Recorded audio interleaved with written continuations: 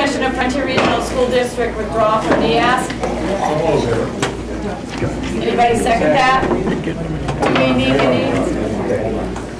Sarah, do we have any other information about Nothing NEAS? additional, it's just everything that's in the report. Unless you have questions. Does does the administration recommend pulling out of NEAS? Yeah. Do you, um, you back Sarah? Yes, uh, and I'll tell you why. We do, um, I'll, I'll tell you, explain why. We do, uh, self-assessments, we have De- DESE coming, DESE has done an assessment of us.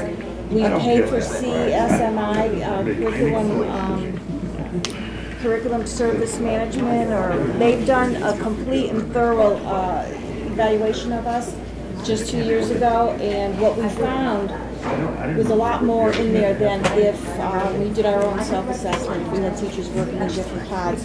We also use a lot of that information in, in this uh, eval. A lot of the direction this district is taking is because we've had outside people assessing this in our programs.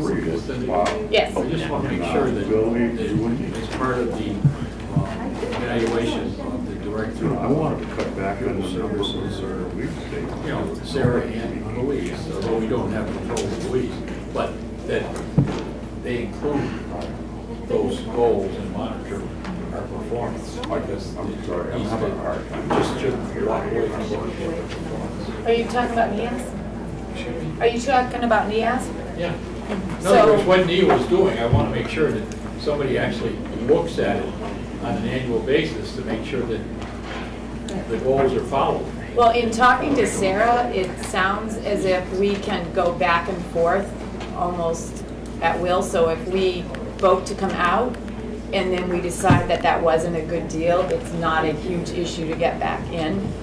Um, So that sold me. Keith? You- So I heard the question, uh, does the administration support it? Yeah, And I heard some explanation, but I didn't basically hear yes. she said Yes. yes first, very quietly. Uh, we're- Well, no, I, I'm still a little thinking about the meeting, about my evaluation, but sh- uh, what, as I said earlier, we have had outside uh, assessments or outside audits, actually, of every piece of our curriculum, everything that we do, and we found it to be much more valuable. When I came in as a new superintendent, I read those thoroughly and I have used them. And on strategic goals for the district. I work with Louise and uh, Sarah and Kim McCarthy every month. And those are, those are the uh, documents that we refer to. The outside audit you talked about will be. De- DESE, and we had one curriculum management services, what's CMS? on? CMS, uh, Management Systems Incorporated. Yeah, and that was a very thorough, uh, actually an audit that was very thorough and very um, unbiased. And we found a lot, and that is where we get the direction for when we talk about personalized learning, all the PD, that's where we find the direction that is leading us forward, especially in our instruction and curriculum. And we don't have to pay the DESE people to sleep at the hotel Northampton, do we? Right, the, the NEAS people, sorry. yes. That's not the reason to to withdraw, but it got along with everything I've been waiting a long time to do this. Dear from them. So anyone else have anything else? I just want to clarify, last, uh, last month, it sounded like you were wanting to do away with the ask, and now you want to, you want to stay in it? No, no. You just misunderstanding her. No, just the opposite, Damien. All right, Yeah. that's what it sounded like tonight, you wanted to stay in it, that it- the information was valuable. That's what I The thought. information from the outside audits we get have been more valuable in helping us move forward as a, as a district, as an educational organization, than actually going inside and, you know, it it just gives us more guidance than Okay, I I must have that. mis- misunderstood. Our time would be better spent at the high school level, doing PD time, learning and growing, um, as, in, in in the, the areas we're going. It takes a lot of time to develop a NEAS report. It takes a year and a half, and it's a lot of time. What do we pay for the these? Two thousand a year? Thirty-five hundred. Thirty-five hundred, and then the visit costs about ten thousand. No. Uh, the dues or the, He has, he has to do it where. the dues would be in there, They're in yes. there now. Yeah. But we're always short in dues anyway. Oh, yeah, I'm just curious whether we, uh, you guys saw the handwriting on the wall, took it out. No, the first time I heard about it was last meeting. So, anyone else? No? All those in favor? Opposed? Sorry. one. One. You say no? I said, because I, But you're an She can. no, because I can, thank you. Moving on. You can, we're backing up. You just weren't ready, so we just forged.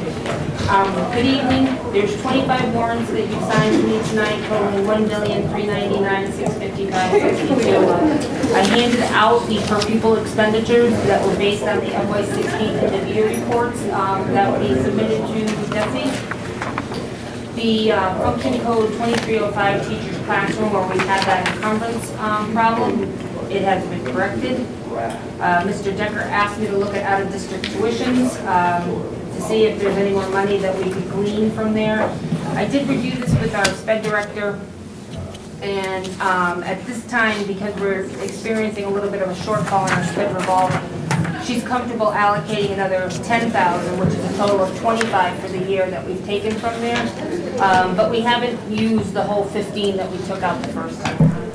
We're still waiting for the bills on the roof, so she's saying that we do have another 10 available. And that's all I have. Questions? Bob? I just want to know how the cafeteria revolving is coming. I am not on it right yet.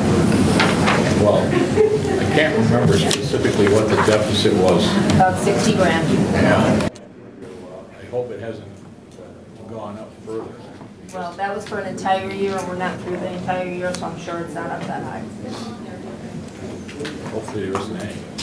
No, there will be. There- there's- They're always gonna run in a deficit. We just had our administrative review, and the fact that Frontier has senior privileges, that seniors don't have to eat lunch, we're never gonna make a profit. We're losing all those lunches. They were very clear about that in our administrative review. It will be difficult for us to make a profit because we, we lose most of our seniors not eating lunch. Anyone else? Okay. Um, so Thank you. moving on to school choice recommendations. Am I off? No, I'm on, okay. Some of the with School choice? Yep, you have the, the sheet that looks exactly like last year. Um, Basically, um, right now, the, you know, the seventh grade, um, it- it's probably not going to open up. I'm just asking for the ability to give up to five if for some reason um, there still needs to be a mass exodus, you know, that kind of thing. But, um, you know, we could, we could take a few in eighth grade and then um, high school, I, we always, I always write 10, but, you know, we probably get one or two um, per grade level coming in. So it just gives me the, the freedom to, uh, to do that. And be, con- continue to be a school choice school. So the Right. two really the. There you go. the two But you want up to five in the seventh grade? I- I'm just being realistically, I'm not gonna, we're not gonna get, I don't even have that many, I have that many applications for seventh grade, but right now it's, it's full. Uh, because I, if you look at our numbers, it's at, we're at one twenty-nine. Um, that's the number I was looking at before. Um, that number, as you notice, has come down. We're starting to get, um, feedback from those families who have chosen other, um, educational options. Um, so, you know, we're now at a spot where it's still too many where I don't wanna add. Um, but I'll take a look at that come May, when we have a good firm, that number will be a lot firmer in May than it is right now. I just, yeah, but if, if we got up to five, will we have to add staff to handle it? I, I would, that's the whole thing, is I'm not adding any staff to take any of these numbers. That's the whole, that's why, you- that's where you're giving me the freedom in, in the sense of, that's why you have more openings in high school, because the way the kids get spread out, we can, we can take them without adding staff, so, yeah. no So can I, um, have a motion for the principal to use his discretion? Can't do. All those in, fa- any other discussion? All those in favor? Thank you, Darius. Yep. Um, Collaborative, we had quite a nice presentation tonight. Do you have anything to add to that, Lynn? Um, yeah, just a few dates. Um, April is Occupational Therapy Month, and they wanted to have a particular reminder of all the support that occupational therapist can get at the program. Also, April 23rd to the 29th is the week of the young child, so they have special programs going on there. They're continuing their social justice and equity in schools. June 5th is a full-day workshop on that. And they continue to encourage everyone to check out their website for a lot more additional information. Principal report? Um, I don't have a handout, 'cause we just come out a week ago, but I do want to just make an announcement that the dugouts have been completed around the baseball diamond and softball diamond, and they're doing a, I want to thank Breck Wanter and Deerfield Academy. They donated quite a bit of their time and resources to make that happen. Um, And Dave Fatel, who, a teacher here, was, was one of the people behind making that happen. So on April 15th, there's going to be a ribbon cutting ceremony at noon. Just want to say it, April 15th, noon, um, on, on the fields there, so. It's and nice we'll do more. stuff make the paper right in the front. Yeah. Yeah. Was it on top? And I was also Above the fold. Above the fold? Go ahead. I was also approached today to be the MC for tomorrow night at the Polish Club for the first annual ham raffle. Unfortunately, I told, I texted Skinny during the meeting that I wouldn't be able to do it, but there is a ham raffle at the Polish Club tomorrow night. Similar to the turkey raffle, but smaller scale, he told me. But Okay. you did buy a ham, right? That's right, and then we had all the great musical stuff, but that's all I said, you guys all heard it, so. That really was, and I saw some tapes of that, and that was really cute. We've got some budding musicians, um, or choir people. I just Um, have one question. Go ahead. On, um, I don't know if Lynn is, do you have any more conversation with Bill Deal relative to the Christian Lane building? Um, he said we'll talk, and then I haven't actually spoken to him since then. The, um, as you know, we know we're going to meet next Tuesday and talk about removing the oil tank. And then the other piece would be, um, getting it ready. But one thing that came to my mind after is with the lead paint that's in there, if th- they put a program in that didn't involve the younger children, that the lead paint may not apply, I don't know if it does or it doesn't, but likely it may not, which makes it much more palatable to use for someone. Right. And then we also have, of course, the Whately, um, select person, or I don't know what his job Fred? Yeah, who uh, was interested, well, was looking at one of three things for senior center for Wayne. Yeah. Anyway, thank you. I didn't want to bring it up when Bill was here. No, we did, we did talk, but the oil tank and then the, um, the lead paint, he said, well, we'll talk. Motion to adjourn? So moved. Second? Second. So voted? Yep.